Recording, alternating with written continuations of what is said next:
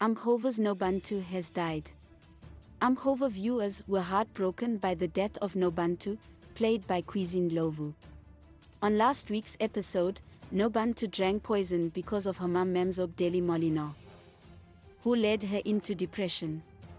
She has been doing her mum's evil work for her, even though she didn't want to and that led her to killing herself. In the last episode, viewers on social media were hoping the poison wouldn't kill her and the new episode would come with good news about her making it. However, it didn't happen like that on Sunday, December 19th. Via its social media platforms, Umkhovha is also going along with what's going on in the show and has started the hashtag hashtag RIP It is with heavy hearts that we announce the passing on our daughter, Nobuntu Gamid.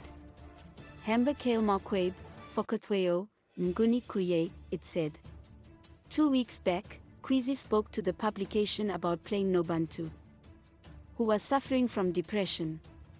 She hoped people struggling with mental health would learn from her character. Playing the character was so hard, simply because it's a real life matter that I need to do properly.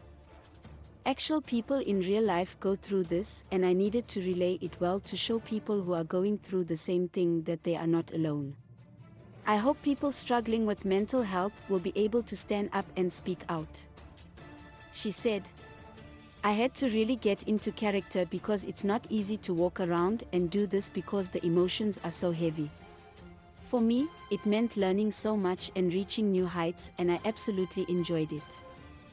She said, Please like, comment, share, and follow this channel for more information or updates on news and entertainment.